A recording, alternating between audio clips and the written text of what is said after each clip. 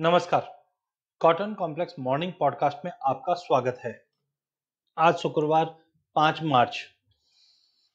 कल के सेशन की बात करें तो कल जैसे हमने उम्मीद की थी, पूरे ही काउंटर में हमने गिरावट आते हुए देखी। इंटरनेशनल में भी हमने देखा कि यूएस कॉटन के अंदर 90 सेंट से मार्केट फिसलता हुआ दिखाई दिया, जो करीबन नीचे के लेवल पे 86 सेंट के करीब जाता हुआ दिखाई दिया, जो अभी भी करीबन एक परसेंट से ज़्यादा की गिरावट के साथ ट्रेड करता हुआ दिखाई दे रहा है।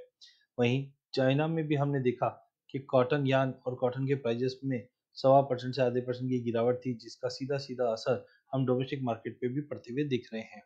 डोमेस्टिक मार्केट में कल कॉटन के प्राइजेस के अंदर हमने देखा बाईस हज़ार दो सौ का हाई लगाने के बाद मार्केट में गिरावट आई और बाईस हज़ार का लेवल छूता हुआ दिखाई दिया। वहीं कपास में भी हमने बिकवाली बढ़ते हुए दिखी और प्राइजेस बारह पे जाके क्लोज हुआ। कॉटन सीड ऑयल केक में अगर तीनों मंथ मिला के देखें तो हमने तीनों मंथ में ही गिरावट आती हुई देखी। खास करके अगर मार्च महीने की अगर बात करें तो मार्च कॉन्ट्रैक्ट के अंदर भी हमने देखा कि प्राइजेस के अंदर गिरावट थी, जो कहीं ना कहीं उम्मीद के मुताबिक ही था। फंडामेंटल साइड हमने देखा कि सीसीआई से जो सप्लाई थी, वो कहीं ना कहीं प्राइजेस पे एक इम्पैक्ट कर सकती है। साथ में एक्सपोर्ट डिमांड इस बार अच्छी रहेगी, जो प्राइजेस में कोई फ्री फॉल भी नहीं होने देगी। अकॉर्डिंग टू आईसीएसी जहाँ पे हमने देखा कि उन्होंने अपवर्ड रिवीजन किया है ग्लोबल कंजम्पशन का, ये काफ़ी इंपॉर्टेंट है, क्योंकि ऐसे टाइम पे अगर कंजम्पशन अपवर्ड रिवाइज होती है तो कहीं ना कहीं ये पूरे ही कॉम्प्लेक्स को एक सपोर्ट देता हुआ दिखाई देगा। वहीं अगर हम कॉटन कंजम्पशन के जो फोरकास्ट आते हुए दिखे हैं, वो रिवीजन हुआ है, बट साथ में ग्लोबल कॉटन स्टॉक का जो लेवल है, वहाँ पे हमने ड्रॉप आते हुए दिखा है जो ये सारे कारण long term, medium term cotton को सपोर्ट करते हुए दिखाई देते हैं। शॉर्ट टर्म में आज शुक्रवार है, शुक्रवार को जनरली हम वैसे भी एक नेगेटिव व्यू देख, रखते हैं कि जनरली प्रॉफिट बुकिंग लेकिन ऑलरेडी पिछले दो दिन में हमने जो करेक्शन देखा है, जिसके चलते लगता है कि आज मार्केट में सेकेंड हाफ़ में एक बाइंग आते हुए दिखाई देगी।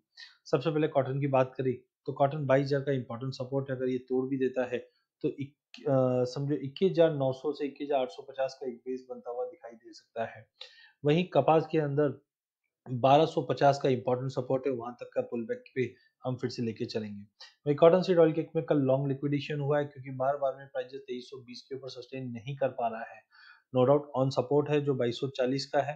एज ऑफ़ नाउ लगता है दिन के सेशन में मार्केट में गिरावट रह सकती है जो 2210 20 तक के लेवल दिखा दे और ओवरऑल 2200 से 2300 के बीच में ही मार्केट ट्रेड करते हुए दिखाई दे रहे हैं। जिस ढंग से डोमेस्टिक मार्केट में हमने देखा हायर प्राइजेस की वजह से कोई बड़ी लेवाली नहीं खड़ी है, जो कहीं ना कहीं प्राइजेस पे धीरे धीरे दबाव ला रहा है।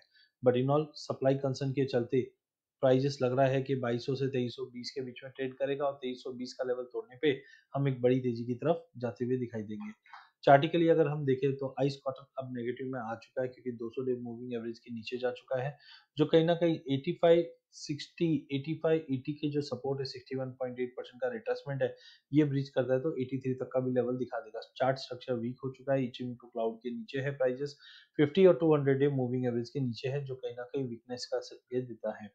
वहीं अगर देखा जाए तो कॉटन सीड ऑयल के लिए भी वीकनेस के ही संकेत है बट अभी भी उम्मीद है कि जब तक प्राइजेस 2240 के ऊपर होल्ड है, कहीं ना कहीं उम्मीद है प्राइजेस फिर से 2290 2320 का लेवल दिखा दे। बट इचिमिको क्लाउड के नीचे आना नेगेटिव संकेत है तो पोजीशंस को थोड़ा कम रखिए। 2200 का इमीडिएट सपोर्ट है और 2200 अगर तोड़ता भी है तो हमने देखा 200 डे मूविंग एवरेज 2140 का है। तो 2200 के नीचे 2140 पे जाके भाव रुकता हुआ दिखाई देगा। पोजीशन थोड़ी कम रखनी है, जब तक 2320 के ऊपर नहीं निकलता है पोजीशन हम कम करके चलेंगे। जबकि आज मार्केट में एक बाउंस देखने मिल सकता है, जो 2260 70 तक का लेवल दिखा दे। बट पोजीशन थोड़ा कम करके चलना है, जब तक 2320 के ऊपर नहीं निकले। अधिक जानकारी के लिए आप हमारा यूट्यूब चैनल सब्सक्राइब कर सकते हैं। इस चैनल में हम आप तक इक्विटी कमोडिटी करेंसी के अपडेट लाते रहेंगे। वीडियो पसंद आने पर इसे लाइक और शेयर ज़रूर कीजिए। धन्यवाद।